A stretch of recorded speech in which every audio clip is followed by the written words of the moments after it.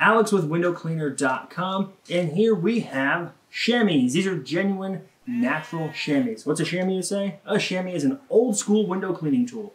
Uh, actually, they're used in a lot of things aside from window cleaning, but people have found over the years that they are a good detailing towel.